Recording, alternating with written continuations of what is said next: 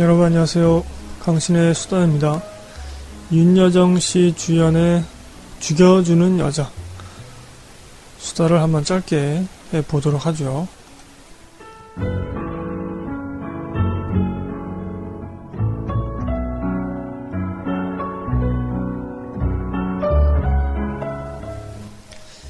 이 영화 이미 VOD 나와 있고요. 제가 극장에서 보려고 했지만 10월 달에 바쁜 일들이 많이 있었죠. 방송도 많이 쉬었고, 영화도 극장에서 많이 놓쳤습니다. 저희 청취자분들이 블로그나 트위터 쪽에 이 영화 보시고 남겨주신 감상평을 제가 보진 못한 것 같습니다. 혹시 트위터 쪽에 남겨주셨는데 제가 모니터링을 놓친 걸 수도 있겠죠. 10월 6일날 개봉을 했고요. 111분 짜리입니다. 청소년 관람 불가이고요. 뭐 유사 성 행위 그리고 실제 성교 장면 이런 것들이 나옵니다. 11만 명 그렇게 관객 동원을 했었고요. 앞서 말씀드린 대로 VOD가 나와 있습니다. 사실은 지금 어, 무슨 영화 보셨나요? 코너 10월달 거를 편집을 해야 되는 때인데 제가 강신 영화제를 위해서 지금 밀린 영화들을 보고 있는데 아, 이 영화를 보고서 아 이거는 제가 정말 할 수 있는 말은 별로 없지만 그래도 한 번쯤은 녹음을 해야 되지 않을까 아, 그런 생각에 마이크를 들었습니다. 그래서 원고도 안 써놓고 그냥 좀 자유롭게 잡담하는 식으로 녹음을 하게 될 것 같습니다. 자, 잡담은 잡담이지만 공지 좀 드릴게요. 2016년 강신영화제를 이제 12월 달에 하게 되는데, 어, 청취자 여러분들의 설문을 받고 있죠. 청취자 여러분들이 보시는 2016년 영화 결산. 여러분들이 선정해 주시는 겁니다. 그래서 저와 함께 12월 달에 발표를 하게 되는데요. 지금 설문 링크가 트위터나 블로그 쪽에 있습니다. 자, 저희 어, 블로그 강신의 수다 각종 포탈에서 검색하시면 되는데 포탈 다음에서 검색하시면 더 쉽게 찾아오실 수 있죠. 음, 12월달 영화 페이지도 올라갈 거고 앞서 소개해드린 것처럼 그 설문 링크도 블로그에 있으니까 여러분 좀 많이 찾아와 주시고요. 어, 트위터도 있습니다. 마찬가지로 강신의 수다 검색하시면 되고요. 저에게 뭐 하시고 싶은 말씀 계시거나 아니면은 이 양반이 무슨 생각을 하고 있나 이런 거 궁금하시면 팔로잉 하시면 될 것 같습니다. 어, 네 분이 팔로잉 해주셨네요. 강도연님, 코니짱님, 이영준님, 헤이다피님 이렇게 네 분 해주셨고요. 감사드립니다. 음, 다 청취자이신 걸로 믿어보겠습니다. 이 영화를 한번 소개해드리자면 정보를 먼저 알려드리자면 20회 몬트리올 판타지아 국제, 국제영화제에서 베스트 여배우상, 뭐 여우주연상이죠. 그리고 각본상을 수상했고요. 부산행이 이 영화제에서 대상을 탔었죠. 그리고 이제 11월 25일 날 시상을 하게 되는 청룡 영화제에서 여우주연상 후보로 윤여정 씨가 올라가 있습니다. 그러니까 이 방송이 만약에 아, 언제 업데이트 될지 모르겠지만 업데이트 됐을 때는 이미 그 수상 결과가 나왔겠죠.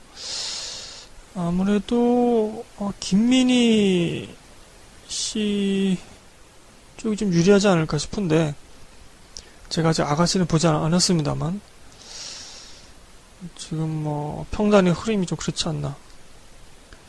자, 이 영화 연출 각본 모두 이재용 씨가 하셨고요. 옛날에 정사 뭐 스캔들, 여배우들, 그다음에 뭐 다세포 소녀, 뭐 그런 것들을 하셨습니다. 주연은 윤여정 씨고요.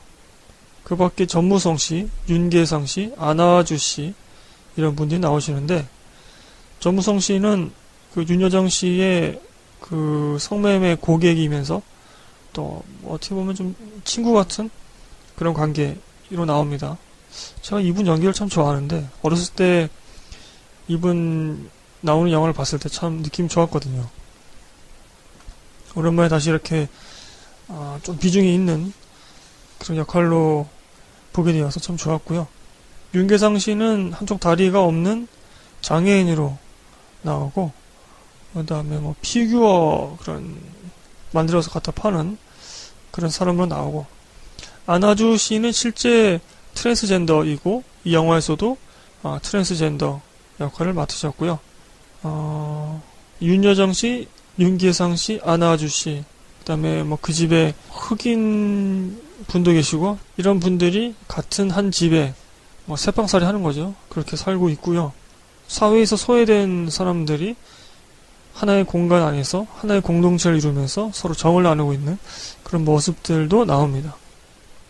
어, 그 밖에 이제 영화 시작하면 나오겠지만 그 코피노라고 해서 한국 사람들이 필리핀이나 뭐 동남아 지역에 가서 애를 갖게 하고서 여성으로 하여금 갖게 하고서 그냥 도망쳐오는 어 이제 그러한 상황에서 나온 애를 이제 코피노라고 하지 않나요? 그런 애들의 문제도 나옵니다. 그래서 윤여정 씨가 그 아이를 잠시 돌보게 되는 그런 상황에 처하게 되죠. 그러니까 이 영화는 전체적으로 어, 우리 사회에서 소외된 사람들 아예 관심을 두지 않는 그런 계층의 문제 혹은 그런 사람들이 현실적으로 나오게 됩니다. 저는 그게 참 좋았는데 어떤 점이냐면 또 환타지를 섞지 않아서 좋았습니다. 그러니까 막 일부러 밝은 척 한다든지 아니면 뭐 어떤 정말 개연성 떨어지는 사건에 휘말리면서 뭐 이들의 인생이 뒤바뀐다던가 한때의 즐거운 추억을 쌓는다던가 이런 걸 별로 안 좋아하거든요 저는. 현실을 현실 그대로 보여주는 걸 좋아하는데 그래서 제가 이창동 감독 영화를 좋아하거든요. 지독하려만치 현실을 보여주려고 하잖아요. 이창동 감독님이. 그래서 이 영화 봤을 때도 약간 그런 느낌이 들기도 했습니다. 그래서 어떤 분들에게는 굉장히 좀 불편하게 느끼실 수도 있고 저도 이 영화 보면서 아 이거 굉장히 무겁구나 영화가 그러니까 일부러 막 조명 어둡게 하고 스토리 어둡게 끌고 가고 음침한 골목 나오고 이렇게 하지 않더라도 이 소재와 이 영화 속에 나오는 사람들 그리고 그들이 처하게 되는 상황 이런 것만으로도 굉장히 무거운 영화다. 아 보는 내내 좀 마음이 무거웠습니다. 그래서 또 이 영화를 녹음해야 되겠다라는 생각이 들었고요. 어, 우리나라에서 어, 노인 복지 혹은 노인 빈곤 혹은 뭐 노인의 성 문제 이런 것을 정면으로 다룬 극 영화가 어, 거의 없지 않았나 싶고요. 혹은 뭐 격가지 사건으로 에피소드로 쓰인다던가 아니면 조연으로 잠깐 나와서 뭐 암시할 수 있는 그런 수준에서 머문다던가 뭐 그런 것들은 몇 편 있었던 것 같습니다. 그리고 이렇게 여러 명의 소외된 계층에 있는 사람들이 전면에 등장하는 그런 영화도 없었던 것 같고, 뭐 다큐멘터리는 많이 있었겠지만, 우리가 또 요즘에 시국이 시국이다 보니까 여러 가지 사회 비판적인 비리를 고발하는 그런 다큐멘터리, 그런 영화들은 많이 나오고 있죠. 그런데 그런 영화들뿐만이 아니라 어, 그거는 어떤 음, 사건에 주목한 그런 양상이라면 이 영화는 다큐멘터리가 아니면서도 그 상황에 처한 사람들을 주목하면서 그리고 있습니다. 그래서 우리가 미처 알지 못했던 이 사람들의 모습 그대로를 어, 볼 수 있는 것 같습니다. 그런 어, 점들에 집중하시면서 보시면 될 것 같은데 어, 우리가 어떤 거대 담론에 관심을 두고 사회, 정치적인 것에 참여하는 것도 물론 중요하고 시급한 일이지만 이렇게 한 인간의 존엄에 대해서 이미 현실이 되어버린 그런 상황 속에 처해 있는 그런 문제들을 관심을 두는 것도 꽤 중요하다고 생각을 하고요. 그리고 이 영화는 사건에 집중한 영화가 아니라고 제가 말씀드렸는데 그래서인지 그 전개 자체가 좀 느릿느릿합니다. 근데 한 발짝 한 발짝 내딛는 것이 꽤 진중한 그런 모양새를 띠고 있는 것이죠.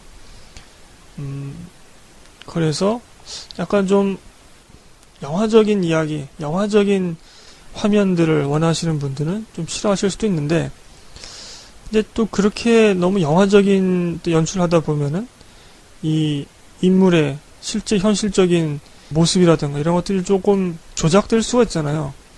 물론 이 영화도 극영화입니다만. 그래서 그런 면들을 좀 최대한 자제하는 그런 영화가 아닌가 싶습니다. 그래서 심파나 아주 뭐 감정을 쥐어짜는 그런 음악이나 그런 장면들 이런 것들이 없다고 보시면 됩니다. 물론 이 영화 속에서 눈물을 흘리는 장면이 있어요.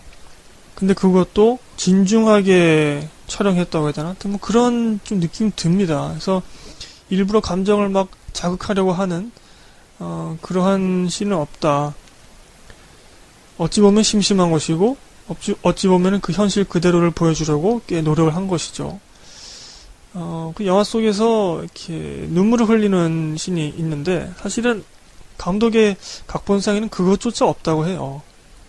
근데 그것이 없으면 너무 좀 인간미가 없다 보니까 윤여정 씨가 이 씬에서는 눈물을 흘려야 된다 이렇게 말씀하셨다고 하네요. 옛날에 그 파이란에서도 최민식 씨가 비슷한 그런 주장을 해서 그 눈물 흘리는 씬을 넣은 적도 있는데 그이 영화가 현재 시국에 관련된 영화도 아니고 거대 담론에 관한 영화도 아닌데 또 어찌 보면은 그 노년의 그러니까 우리 인생의 말년에 해당하는 분들의 이야기가 이제 주로 나오잖아요. 물론 그 밖에 또 윤계상 씨나 안하준 씨도 나오긴 합니다만 노인 빈곤, 노인 복지, 혹은 노인의 성 문제 이런 것들인데 이게 저도 사실 그 나이가 아니잖아요. 그래서 직접적으로 그것이 체감되지 않을 수도 있겠다라는 생각이 들었지만 영화를 보니까 아 이게 남 얘기가 아니다 그런 느낌이 들더라고요. 저도 어, 이 영화 속에 나온 분들처럼 될 수도 있는 거거든요. 왜냐면 우리 인생은 돈이 있든 없든지 간에 질병 앞에서는 무력하고 지금 현재 돈이 있다고 해서 나이 80 먹었을 때도 그 돈이 계속 있느냐 그것도 장담할 수 없잖아요. 우리 인생의 앞날은 장담할 수 없다는 그 명확한 진리 앞에서 아, 이 영화 속에 나온 인물들이 남의 얘기가 아니구나 라는 생각을 할 수 있었습니다. 또 우리나라 현재 그 노인 복지 시스템 그리고 어떤 사회적인 인식 이런 것들도 아, 현재로서는 크게 변할 거라고 낙관적으로 보기가 매우 어렵죠. 그렇기 때문에 제가 뭐 한 50년, 60년 후에 아, 저런 모습을 할 수 있겠구나. 제발 나를 좀 죽여줘. 어? 더 이상 살기가 싫어 나는. 이런 상태로 정말 자존감이 무너지는 또 오줌 싸면서 그거를 내 손으로 닦지도 못하고 어? 내 손 하나 까딱 할 수 있는 그런 힘도 없는 모양새로 그냥 침대에 이렇게 누워 있어서 아 그렇게 살기 싫어 라는 그런 상황에 처할 수도 있는 거 아닌가 그리고 또 뭐 나의 부모라든가 내가 사랑하는 연인이라든가 내 친척 중에서 분명히 이러한 인생의 말년을 보낼 수도 있다고 생각이 들거든요. 결코 이것은 남의 얘기가 아니라는 점이죠. 젊었을 때 막 호기롭게 아 나는 남한테 신세 안 질 거야. 내가 벌어서 어 난 충분히 내 건사할 수 있어. 라고 하시던 분들이 다 쓸쓸하게 지금 말년을 보내고 계시고 자기가 어떤 생각을 하든지 간에 이게 나의 의지로 나의 계획대로만 된다면 우리 인생이 얼마나 해피하겠습니까? 파라다이스죠. 그야말로. 그렇게 되지 않기 때문에 이 영화가 의미가 갖는 것이고 의미를 갖고 있는 것이고 또 우리가 인생 앞에서 시간 앞에서 세월 앞에서 겸손할 수밖에 없는 게 아닌가 또 그런 생각을 해봅니다. 저희 블로그 11월달 영화 페이지에는 제가 써놨지만 어, 할머니의 먼 집이라는 그런 다큐멘터리를 보면은 그 다큐멘터리에서도 할머니가 자살을 시도해요. 근데 그 할머니는 어, 사지 멀쩡하시고 정신도 또렷하시고 뭐 그렇습니다. 어, 집도 뭐 온전하게 갖고 계시고 어, 겉으로 보기에는 뭐 그렇게 생활이 불평해 보이지 않는데 본인 생각엔 그게 아니, 아니었던 거죠. 남편도 죽었고, 또 영화 속에서 여러 죽음을 또 보시고, 그 다큐멘터리를 그 할머니의 자살 소식을 들은 이제 손녀 딸이 아, 이제 찍은 건데, 어떻게 보면 뭐 홈비디오 같은 그런 정말 리얼함이 살아있는데, 그 손녀에게 그 할머니는 속마음을 시원하게 말할 수 없는 것이죠. 그 말해봤자 그 소녀는 이해하지도 못할 거고, 어? 그 나이에 뭘 이해할 수 있겠어요. 그러니까 동네 사람들하고 이제 술 한잔 하실 때 약간 이제 속마음을 내비치시고 그렇게 되는 것인데, 우리가 뭐 흔히 그런 말 하잖아요. 아, 늙으면 죽어야지, 늙으면 죽어야지. 라고 말씀하시는 그런 어른들의 그런 것은 다 뻥이다. 다 거짓말이다. 사실은 더 오래 살고 싶으면서. 라고 우리가 생각을 하지만, 아, 실제로 그 나이 때쯤 되신 분들은 그런 생각을 하신다는 거죠. 자식들, 혈육들도 다 떠나서 이제 독립을 하잖아요. 독립을 해서 가족을 이루고 있으니까 정말 근처에 살고 있지 않는 한 찾아와서 돌보기가 힘들고 자꾸 주변의 사람들은 죽고 자기 몸도 지쳐가고 그런 상황에 처하게 되는 것이죠. 그래서 그 다큐멘터리도 살짝 좀 연상이 되기도 하더라고요. 이러한 문제들이 먼 나라 이야기가 아니라 우리 할머니 할아버지 혹은 내 이야기가 곧 될 수 있다는 것이죠. 아, 그런 면에서 이 영화가 어떤 특별한 가치가 있는 것이 아닌가라는 생각이 들고요.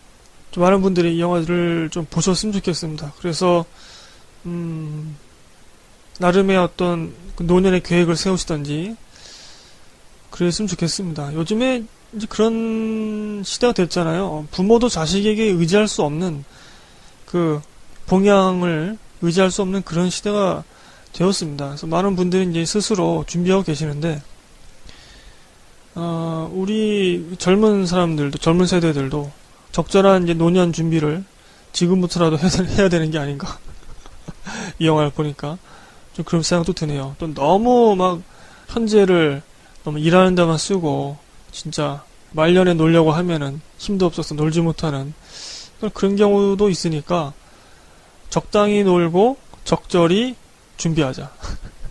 뭐 그런 생각이 들더라고요, 정말로. 자, 이 영화는 전문가 평점이 이제 7.0이고요. 그 중에서 김성훈 평론가가 남긴 이 한줄 평이 제일 좀 납득이 되었는데 결국 설득되고야만은 윤여정의 깊은 얼굴 이렇게 되어 있습니다. 음, 저도 이 영화를 보면서 이제 윤여정 씨 연기를 주의 깊게 보았는데요. 약간 좀 어색한 그런 느낌도 없지 않아 있었는데, 아, 근데 그 이 영화 전체적인 톤과 이 윤여정 씨의 연기가 정말 딱 잘 맞아 들어가더라고요.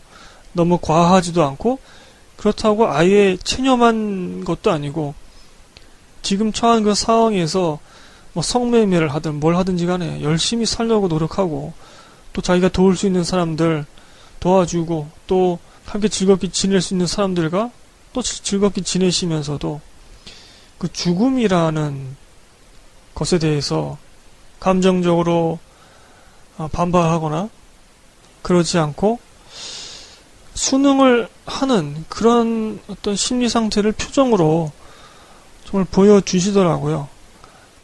사실 그 기쁜 감정이라든가 그런 격한 감정 이런 것들은 우리가 일상생활 속에서도 조금이나마 체험할 수 있기 때문에 그것을 이제 표정으로 보여주고 또 그것을 관객이 수용하기가 조금 쉬운 편이죠. 뭐 분노라든가 뭐 이런 것들. 물론 그것조차도 못하는, 연기를 못하는 분들이 계십니다만은. 근데 이거는 이제 죽음이잖아요. 그리고 내가 죽은 것도 아니고 또 남을 죽여야 되는 그런 상황에 처하는 것이고. 그런데 그 죽음을 또 수용하고 순응하고 또 이해하는, 받아들이는 그런 감정까지 이 영화상에서 표현을 했어야 됐거든요. 아, 근데 그것을 과하지 않게, 그렇다고 아예 색깔이 없는 것도 아니고, 적절한 톤으로, 적절한 거리를 두고, 어, 연기를 해 주신 것 같습니다. 청년영화제에서 지금 여주연상 후보인데, 11월 25일 날, 어, 결과가 어떻게 되었을지 또 궁금하기도 합니다. 제 개인적인 바램은 윤여정 씨가 탔으면 좋겠어요. 그래서 이 영화가 어, 청년 영화제에 좀 수상 목록에 좀 기록이 되었으면 좋겠습니다.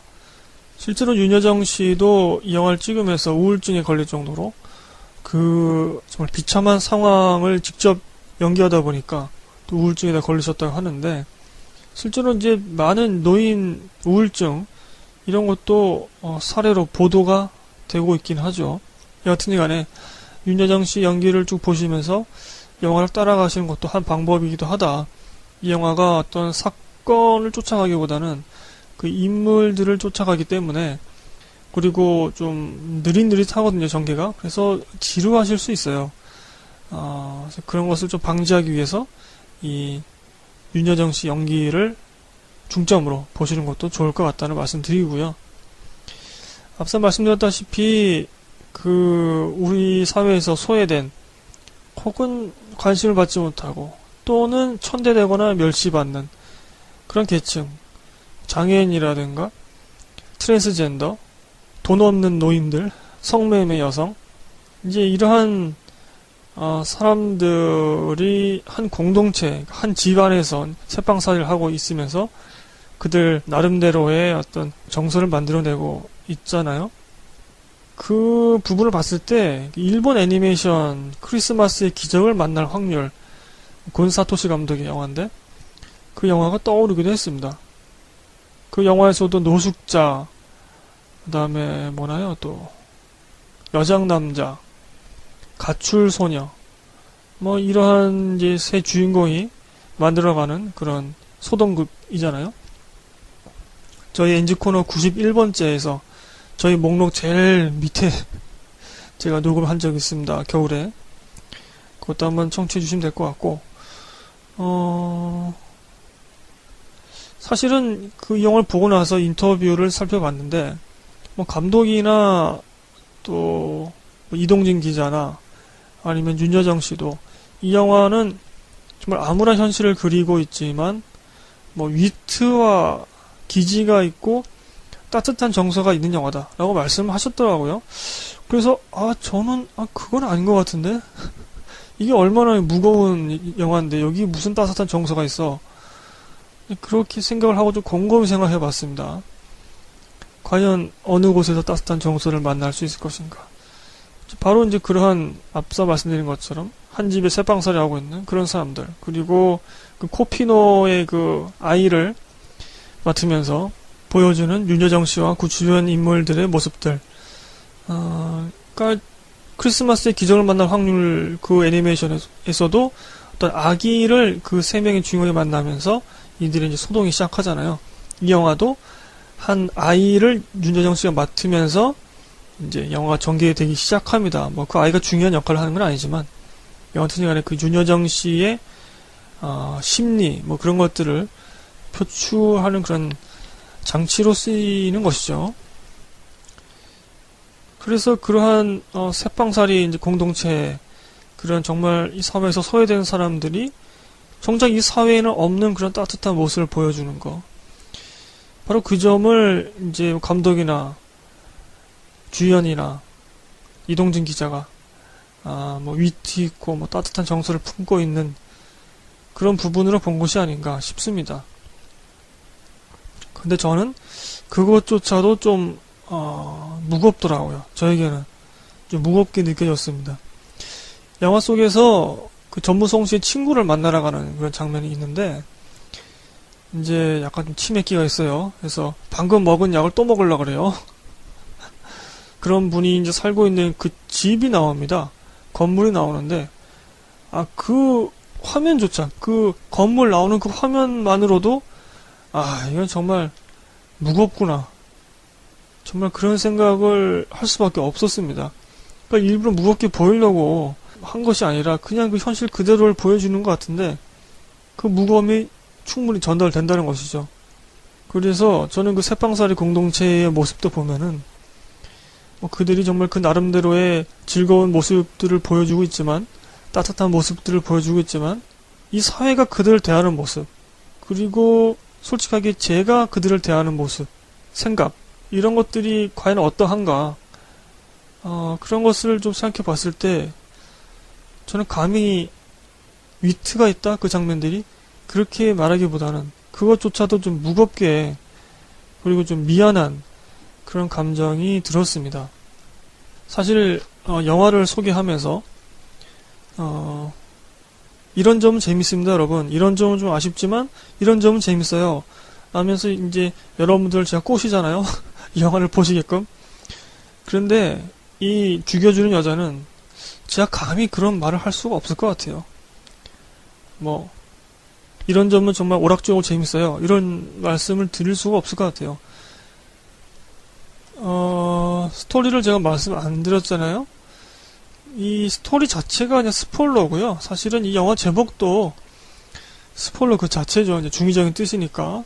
그래서 뭐 이미 많은 분들이 대강의 그런 이야기들을 스포일러 당했다고 생각합니다. 왜냐면 이미 알려진 그 이야기 이외에 다른 이야기들이 안 나와요. 그 자체로 끝납니다.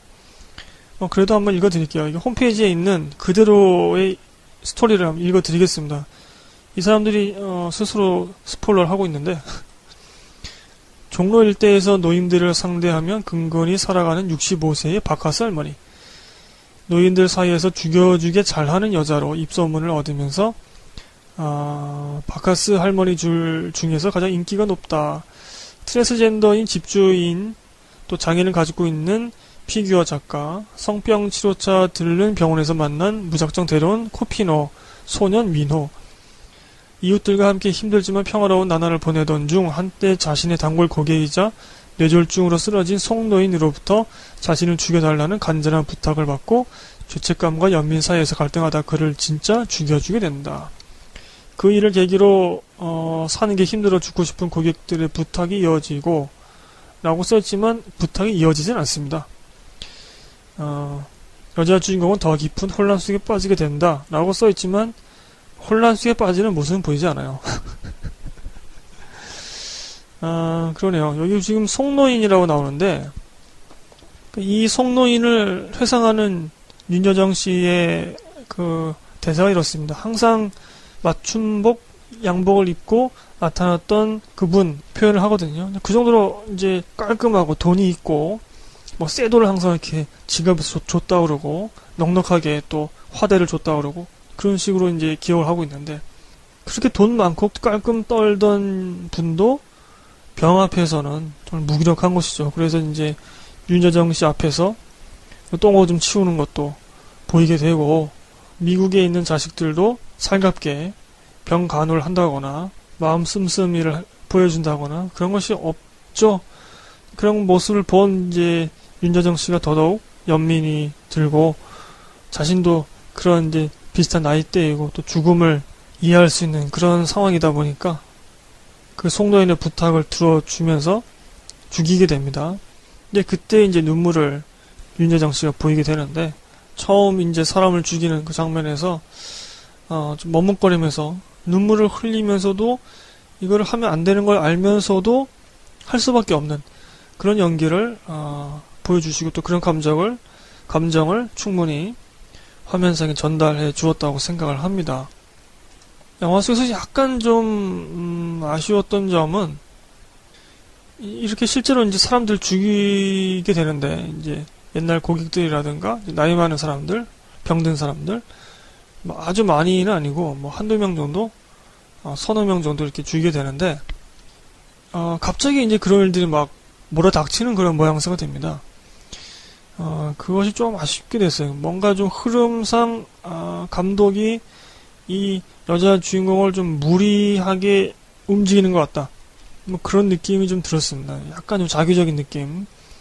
갑자기 막 이런 일들이 막 들어오니까 음, 좀 그런 생각이 들긴 했습니다만 죽여달라고 하는 그 한 사람 한 사람의 그 사연과 그 모습들을 보면 아, 이 정말 이 현실이 정말 비참하구나, 엄중하구나, 그런 느낌이 들더라고요. 이 영화 속에서 좋았던 것은 이제 제일 마지막에 죽이는 그런 씬에서 자기 옆에 이제 죽어 있는 그 할아버지를 보면서 눈물을 흘리는데 그 표정이 좀 바뀝니다. 처음에는 이게 무슨 감정인지 잘 모르겠는데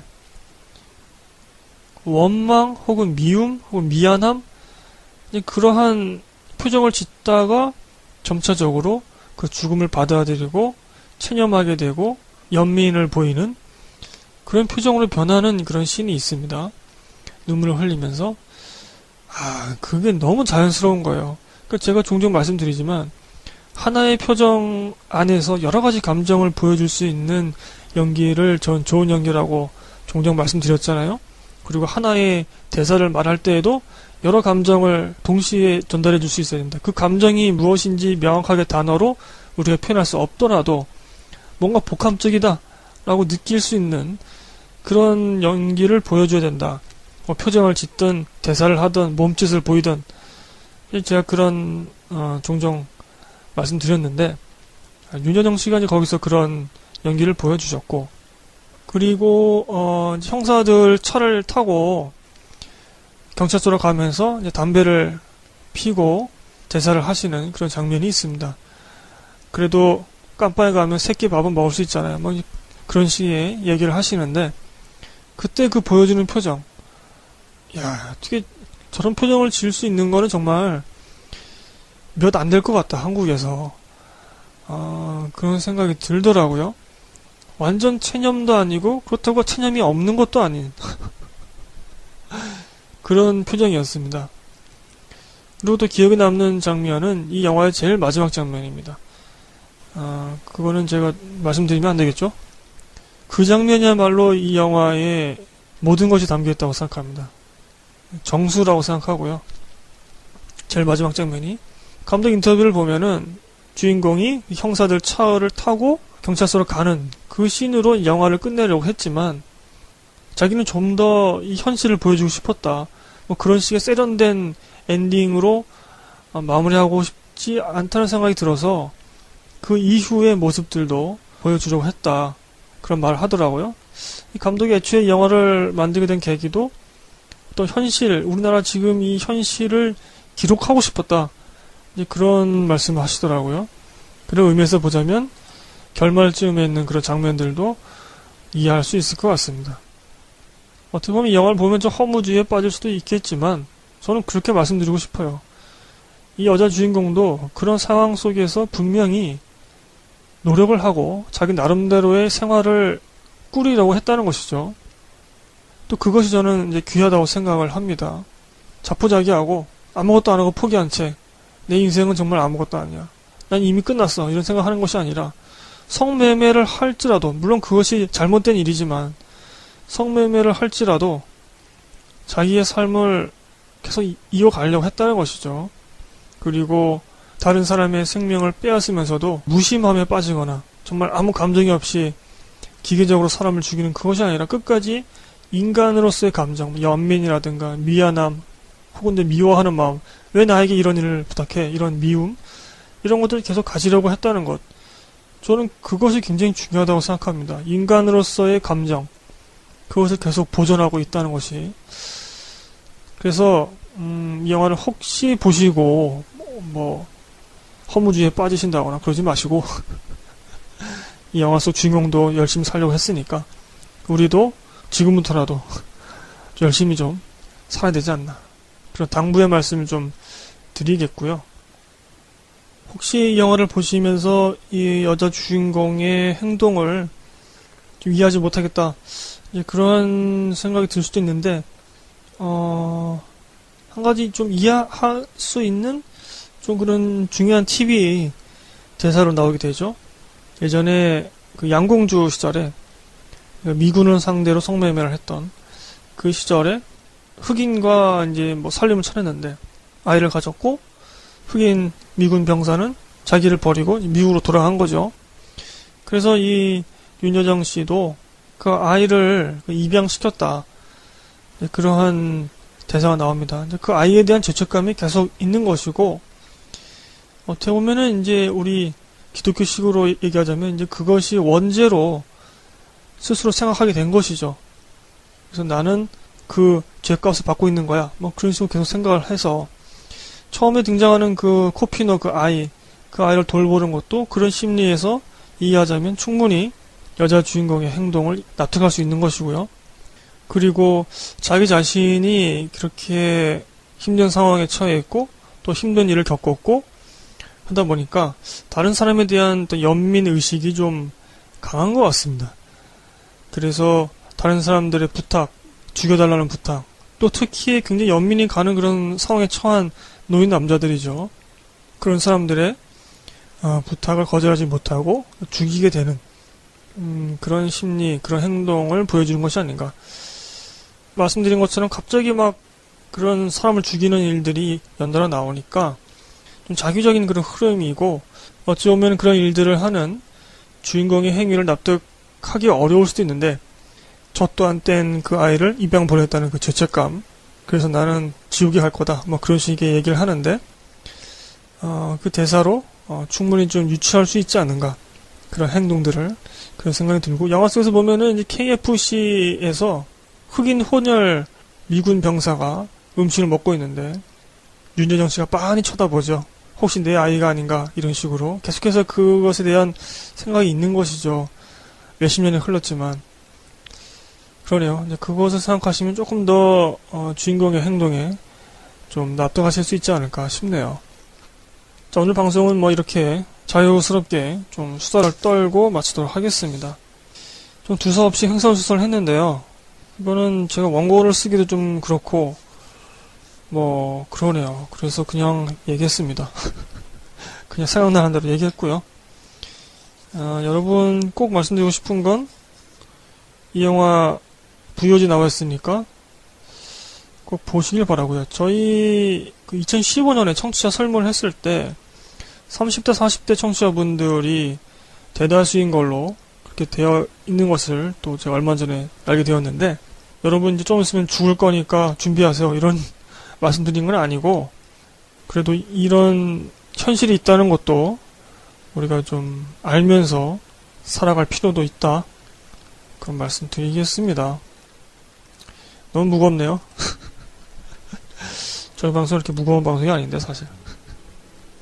자, 2016년 아, 강신 영화제 설문 받고 있습니다. 여러분 설문 참여해 주시고 블로그나 트위터 쪽에 링크가 있으니까 꼭 여러분 참여해 주셔서 12월 달에 재밌는 강신 영화제를 할 수 있도록 부탁드리고요. 어, 저희 블로그나 트위터도 많이 찾아와 주시고 자 어, 무슨 영화 나의 코너를 먼저 업데이트할지 이 방송편을 먼저 업데이트할지 모르겠습니다만 제가 둘 다 빠뜨리지 않고 업데이트 하도록 하겠습니다. 자, 그럼 저는 여기서 인사드리고요. 여러분들 날씨가 갑자기 추워지면서 이제 드디어 12월 달에 오죠.